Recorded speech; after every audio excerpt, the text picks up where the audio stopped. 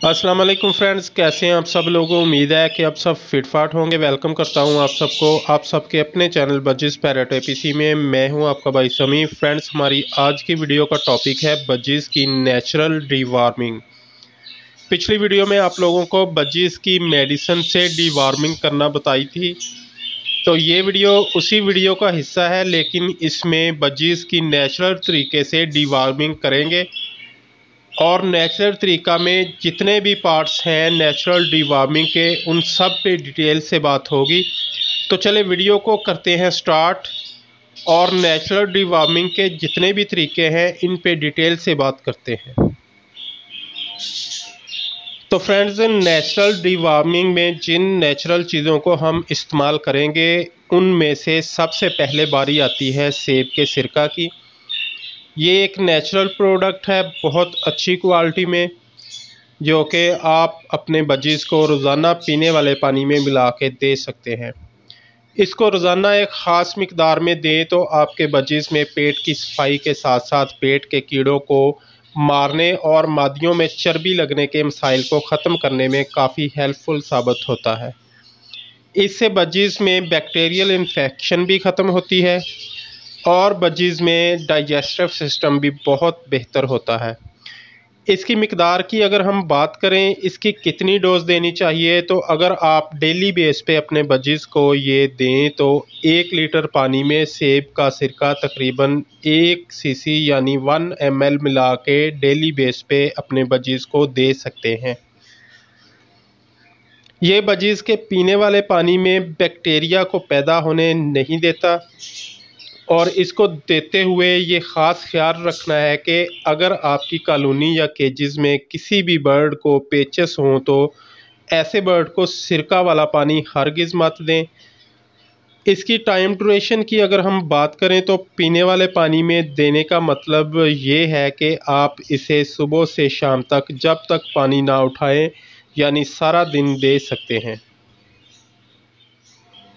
Friends सेब का सिरका बर्ड्स के लिए बहुत ज़बरदस्त चीज़ है। इससे बर्ड्स में चर्बी लगने के मसाइल के अलावा पेट की बहुत सारी बीमारियों से आपके बर्ड्स बचे रहते हैं। और अगर आप इसको डेली बेस पे दें तो आपके बर्ड्स की साथ साथ डिवॉर्मिंग होती रहती है, पेट की सफ़ाई होती रहती है, जिसकी वजह से आपके बर्ड्स काफ़ी बीमारियों से बच जाते हैं।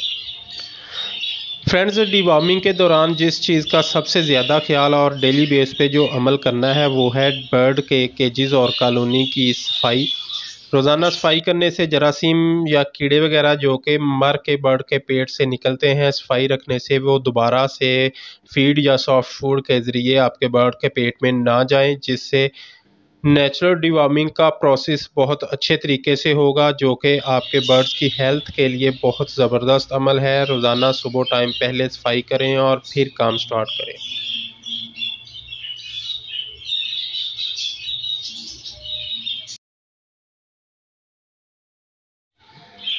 फ्रेंड्स नेचुरल डिवार्मिंग में नंबर तीन पे बारी आती है लौकी, कद्दू पम्पकिन की और इसके साथ डाइजेस्टिव सिस्टम को अच्छा रखने के लिए बर्ड्स को गर्मी से बचाने के लिए मिंट यानी पुदीना की। पुदीना एंटीऑक्सीडेंट भी है, ये दोनों ग्रीन फ़ूड वीक में दो बार दें, क्योंकि लौकी के बीज भी पेट की सफ़ाई का अच्छा और कुदरती सोर्स है। इनको देने का तरीका बहुत ही आसान है। एक बर्तन में साफ़ पानी लें और इस पानी में सेब का सिरका पाँच से दस कतरे डाल लें और ये दोनों ग्रीन फ़ूड काट कर इस पानी में बीस मिनट के लिए रख दें ताकि किसी भी किस्म के बैक्टीरिया वगैरह अगर इनके साथ हों तो वो मर जाए। और वैसे भी सॉफ्ट फ़ूड अगर बर्ड के केजेस में या कॉलोनी में ज़्यादा टाइम पड़ा रहे तो इसमें बैक्टीरिया वगैरह पैदा होना शुरू हो जाते हैं। सेब का सिरका इस्तेमाल करने से बाद में भी ग्रीन फ़ूड में जरासीम या बैक्टीरिया वगैरह पैदा होने से रोकता है। इस तरह इस ग्रीन फ़ूड से आप अच्छी तरह फ़ायदा उठा सकते हैं। दोनों ग्रीन फ़ूड सिरके वाले पानी में 20 मिनट तक रखें और 20 मिनट के बाद ये पानी निकाल कर इसी बर्तन में बर्ड को ये ग्रीन फ़ूड दे दें। अगर आप सिरके वाले पानी से ग्रीन फ़ूड गुजार कर बर्ड को देंगे तो इस ग्रीन फ़ूड को शाम तक भी अपने बर्ड्स की कॉलोनी में रख सकते हैं।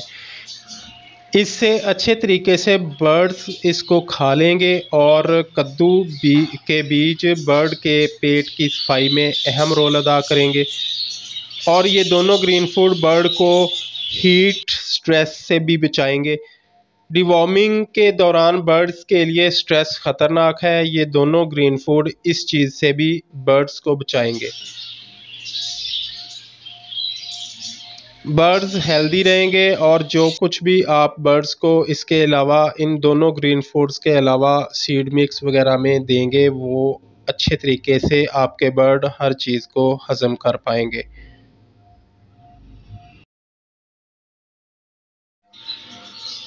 फ्रेंड्स नंबर चार पे नेचुरल डिवार्मिंग का जो तरीका आपने अपने बर्ड्स में करना है, वो है शावर बिल्कुल सुबह और शाम मुसलसल 15 से 20 दिन तक अपने बर्ड्स को रोज़ाना ताज़े पानी से शावर दें। फ्रेंड्स आपके जहन में ये सवाल आ रहा होगा कि नेचुरल डिवार्मिंग और वो भी शावर से कैसे तो अभी बताता हूँ फ्रेंड्स जब आप अपने बर्ड्स को मुसलसल 15 से 20 दिन तक सुबह शाम शावर देंगे तो आपके बर्ड्स में से जिन बर्ड्स ने भी मोल्टिंग पे आना होगा, वो इन दिनों में मोल्टिंग पे आ जाएँगे। शावर देने से बर्ड्स बहुत जल्दी मोल्टिंग पे आ जाते हैं, क्योंकि ये सारे प्रोसेस जो कि नेचुरल डिवार्मिंग के हैं, आपके बर्ड्स के रेस्ट टाइम पे कर रहे हैं।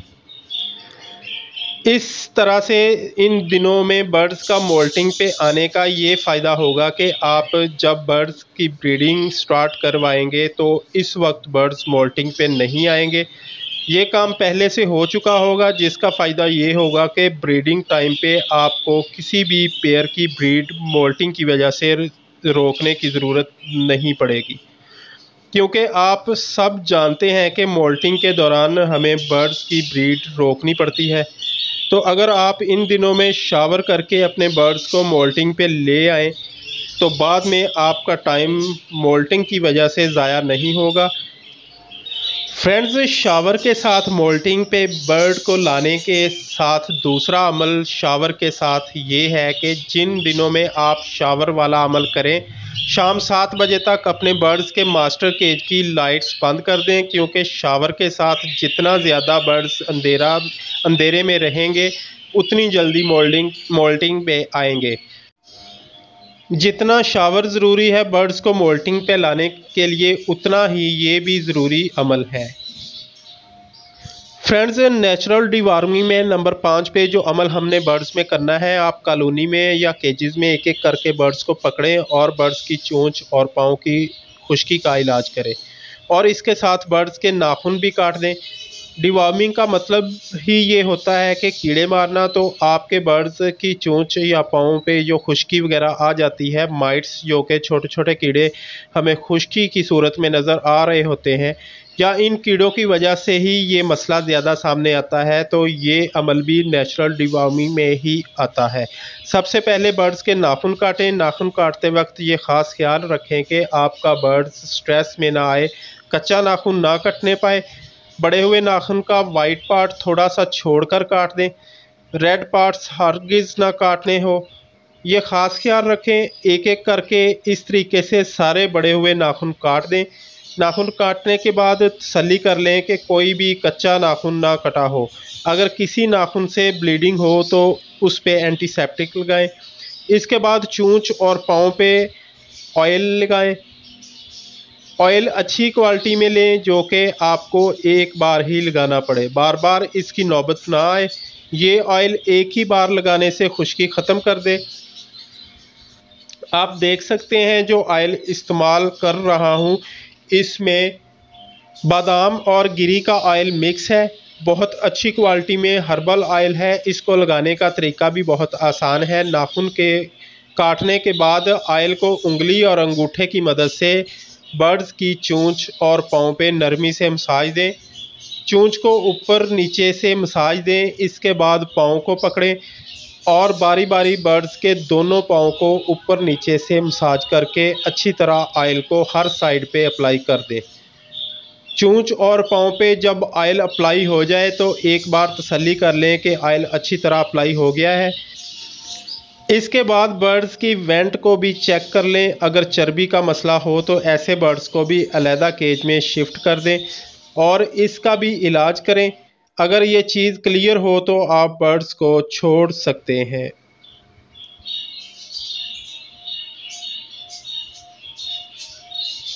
इस तरीक़ा से आप वेंट को चेक करें और अच्छी तरह से क्लियर करें कि चर्बी का मसला तो नहीं है बर्ड्स को, ख़ास तौर पे मादियों में। जब ये मसला क्लियर लगे तो आप बर्ड्स को छोड़ सकते हैं। फ्रेंड्स, नेचुरल डिवार्मिंग में नंबर छः पे जो काम आपने करना है, आप जब अपने बर्ड्स को एक एक करके पकड़ें तो बर्ड्स की बॉडी पे लाइसिस यानी जुओं का नोटिस भी ले लें। अगर आपके बर्ड्स में जुओं की प्रॉब्लम है तो इसे भी हल करें। जुओं के मसला को नेचुरल तरीका से हल करने का तरीका ग्रीन टी, यानी सब्ज़ कावा, जो कि अक्सर हम घरों में बनाते हैं, इसका इस्तेमाल करें। इसको गर्म पानी में तैयार कर लें। तैयार, मैंने पहले से तैयार करके रखा हुआ है टाइम की बचत के लिए। तैयार करने के बाद इसे ठंडा कर लें। ठंडा करने के बाद इसे शावर बोतल में डाल लें। जितना कावा की मकदार हो, उतना पानी मिक्स कर लें। यानी कावा का पानी और ताज़ा पानी बराबर मकदार में मिक्स कर लें। और सुबह शाम जब अपने बर्ड्स को शावर करें तो मुसलसल पाँच दिन तक कावे वाले पानी को ऐड कर लें।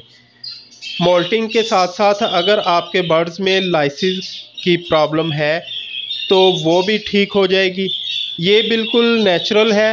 अगर बर्ड्स के मुँह या आँख में भी चला जाए तो कोई मसला नहीं है। जुएँ बर्ड्स का खून चूसती हैं और ख़ारिश क्रिएट करती हैं, जिससे बर्ड्स डिस्टर्ब रहते हैं और बर्ड्स रेस्ट भी सही तरीके से नहीं कर पाते। नींद पूरी ना होने की वजह से बर्ड्स स्ट्रेस में आ जाते हैं। खाना पीना छोड़ देते हैं, कमज़ोर हो जाते हैं, जिससे बर्ड्स बाज़ात एक्सपायर भी हो जाते हैं। इसलिए नेचुरल तरीका से अपने बर्ड्स की स्टेप बाय स्टेप इन छोटी छोटी प्रॉब्लम्स को हल किया करें, ताकि कोई बड़ा मसला ना बने।